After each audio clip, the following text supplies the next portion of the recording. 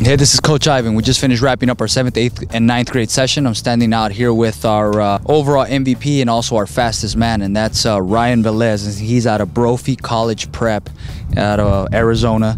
And uh, today he had some impressive numbers uh, as the fastest man and also the overall MVP. He's at the wide receiver position out here in Arizona, and he does an excellent job catching the ball, getting off the ball. Great up the seam, uh, explosive speed, and uh, just a great separation from the defensive backs. Uh, Ryan, what sort of things do you do in the offseason to kind of get you prepared for stuff like this? Well, in the offseason, I do a combination of different sports like wrestling and baseball, kind of help me with my game in football. Awesome, awesome. Multi sports. Good job. What you think about the competition out here today?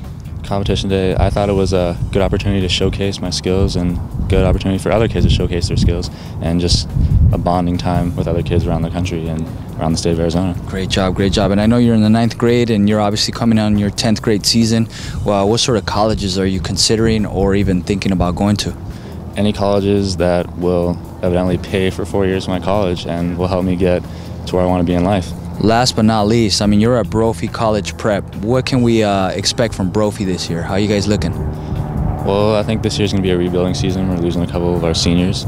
So I think this year will be a rebuilding year, and gotcha. it'll be a year of new things. Well, Ryan, man, congratulations on your overall MVP, man. Much continued success, and we look forward to obviously seeing you in, in uh, regional and national, hopefully, events later on this season. Yes, sir. Great job, Ryan. Thank you, sir.